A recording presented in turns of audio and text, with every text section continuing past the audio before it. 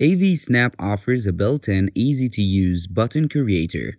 By setting different parameters, buttons can be modified to aesthetically enhance a user interface.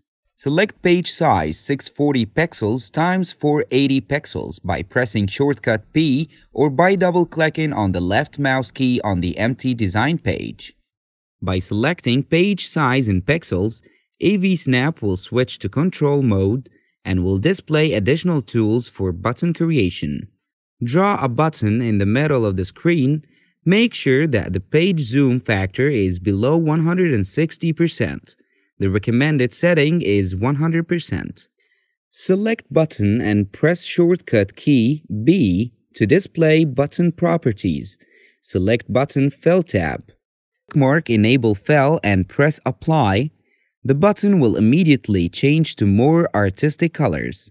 Select button up and button down colors to fit your taste.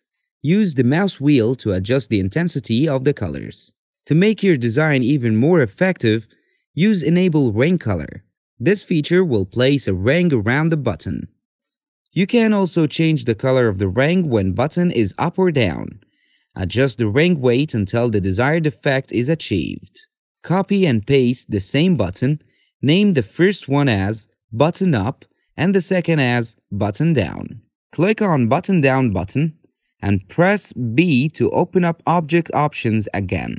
Select Button Object tab and select the Down option. Click OK to apply the option on the button. With the Down option selected, the Button Down button shows how the button appears when it's pressed. Press shortcut G to remove the grid for better viewing. The alternative option to test the button is to press F9 to turn on the run mode. Use escape key to close the run mode and back to the design view.